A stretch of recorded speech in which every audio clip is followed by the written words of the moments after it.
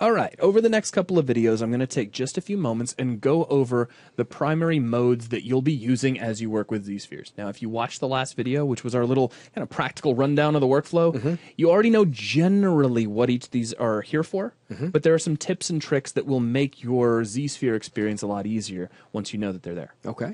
So let's start off by creating a zSphere object. I'm just going to come over here to the Tools panel, click on any one of the tools, and choose Z-Sphere, and drag this into my document like so. Immediately, I will press the T key and go into edit mode. If you forget to do that, you won't be able to edit this Z-sphere, so keep that in mind. Draw mode is pretty basic. You can access it by tapping the Q key, and to create a new Z-sphere, all you really need to do is just click and drag. Now, as you're dragging, as you saw, what you're doing is you're defining the radius of that new Z-sphere. If I hit Control Z, you can see the difference between clicking, which creates a really tiny Z-sphere, and dragging, which gives you a nice control over the size. So I recommend you always drag when your mouse is on an existing Z-sphere. Now I'm going to switch over to move mode for just a moment. I'm going to pull this guy out of the way just to give us a little more room. Now, if you create a z-sphere that you do not like, so for instance, if I drag out a z-sphere over here, and we'll move it some distance away so that we have, I don't know, some sort of strange offshoot, and I decide maybe that wasn't the best idea I've ever had in the world, in draw mode, you can alt click to remove. And that's a behavior you're going to see a lot in ZBrush, where the alt key allows you to do the opposite of whatever you were doing to begin with. It's not with every single tool, but it's very common. Like when you're sculpting, if you're pulling and you want to push instead, just hold down the alt key and it'll push. And vice versa. If you were pushing, you can hold down alt and you'll start pulling. Now, that's just for basic creation. When you get started, that's probably how you'll do it uh, most of the time, but you can also click on one of these existing connector spheres. And these connector spheres don't really do anything in and of themselves. They're just there as a way for you to see and visualize the general volume of the shape that you're creating. But if I click on one of them, it becomes a regular z-sphere. You'll see how it fit into the hierarchy. It is parented to the next person up the chain, and it is the parent of the next person down the chain. It's, it's important, excuse me, to know that uh, because it does maintain the flow of that hierarchy. And then we can move this around.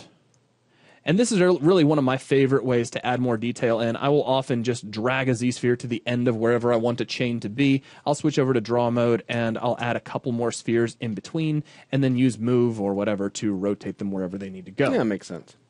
Now, just as a note, this is kind of an interesting aside. This may be more important to you if you are still using a previous version of ZBrush. If you're using a previous version of ZBrush, please upgrade. Uh, but if you alt click on one of the connector spheres while you are in draw mode, you gotta make sure you're in draw mode, uh, you will nuke those connector spheres that can be a little visually confusing because by default it's not really going to do anything. Um, everything's still going to behave the same. The reason I mentioned that it's kind of a legacy issue is that under the adaptive skin settings, if you're using an older version of ZBrush, you may get a result like this.